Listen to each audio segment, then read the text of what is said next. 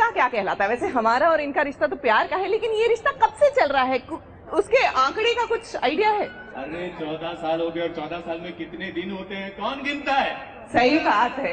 वैसे आपसे जानना चाहेंगे आप सॉरी सॉरी सॉरी आप देखते हैं ये सीरियल नहीं रिश्ता क्या कहलाता ये ये मदर इन लॉ देखी है। मदर इन लॉ देखती है। क्या अच्छा लगता है उनको? अ, उनको अक्षरा पसंद थी बट शायद जब अक्षरा ने छोड़ा शायद अब वो नहीं देखती तब तक हाँ, देखती तो यहाँ पर ये रिश्ता कौन देखता है। तो आंटी आपसे जानना चाहेंगे ये जो कार्तिक नायरा का पूरा नया ये जो सीन चल रहा है उसके बारे में क्या कहना चाहेंगे? कार्तिक और नायरा जो है दोनों बहुत ज़्यादा एक दूसरे से प्यार करते हैं। और नायरा का अभी ऑपरेशन हुआ है जिसके अंदर वो बहुत ज़्यादा सीरियस हो गई है। अच्छा लेकिन अस्पताल में भी शादी होती है पता था कभी आपको? शादी हो है देखिए मुनीम जी ऐसा अस्पताल भी होता है और पैसा भी नहीं लिया उन्होंने शादी कराने का। आप यहाँ पर एक एक एक एक दो दो दो दो रुपए का हिसाब रख रहे हैं। वो सुना है ना कि अस्पताल में सारे मर्जों की दवा होती है है ना? तो प्यार एक बहुत बड़ा रोग है प्रेम एक बहुत बड़ा रोग है। इसका भी इलाज होता इसका है भी इलाज अस्पताल में हो सकता है।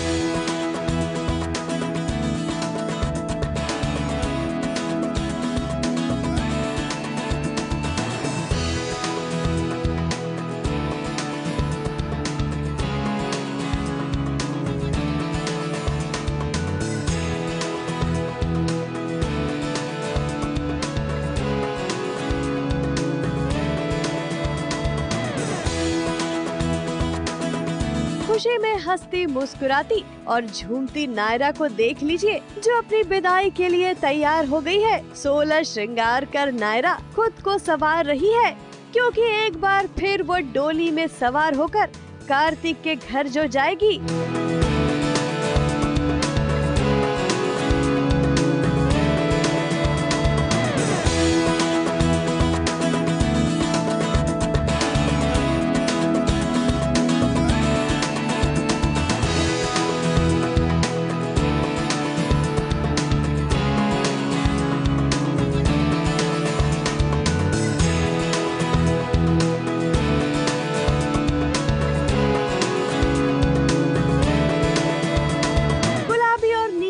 के कॉम्बिनेशन वाले इस खूबसूरत लहंगे और गहनों में नायरा सच सवर कर अब पूरी तरह तैयार है।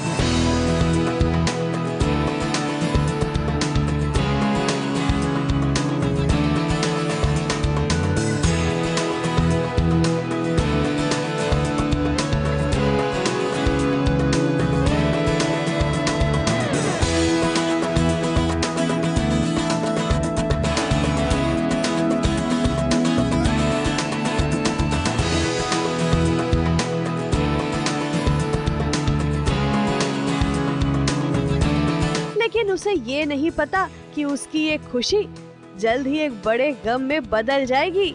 जिसके लिए वो अभी सच सवर रही है, उसी की पहचान, उसी की यादें नायरा के दिलो दिमाग से मिट जाएगी।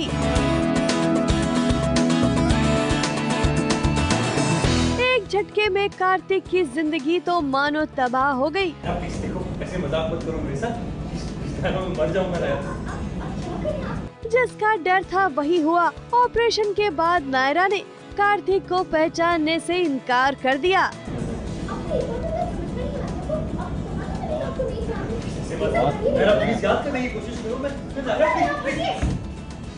कितना बेचैन था कार्तिक, जब नायरा का ऑपरेशन चल रहा था। शायद यही ख्याल कार्तिक को बार बार परेशान कर रहा होगा कि क्या पता ऑपरेशन के बाद क्या होने वाला है। कार्तिक को इतना बड़ा झटका लगा है कि फ़िलहाल तो उसके लिए संभलना बेहद मुश्किल होगा। लेकिन पूरा परिवार है ना नायरा और कार्तिक के साथ? हम अपने आप को पॉजिटिव रखें और भगवान से प्रार्थना करते रहें ताकि हमारी नारा बिटिया कुछ भी ना भूले उसे सब याद रहे। भूलेगी भी तो हमें कोई ये नहीं है हम फिर से उसे याद दिलाएँगे सब कुछ।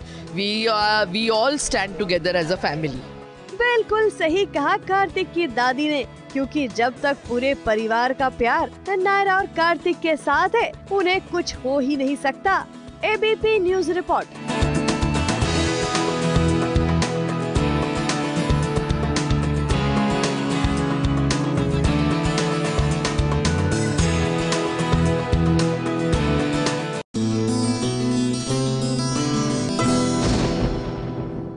ये है एबीपी न्यूज़। आपको रखे आगे।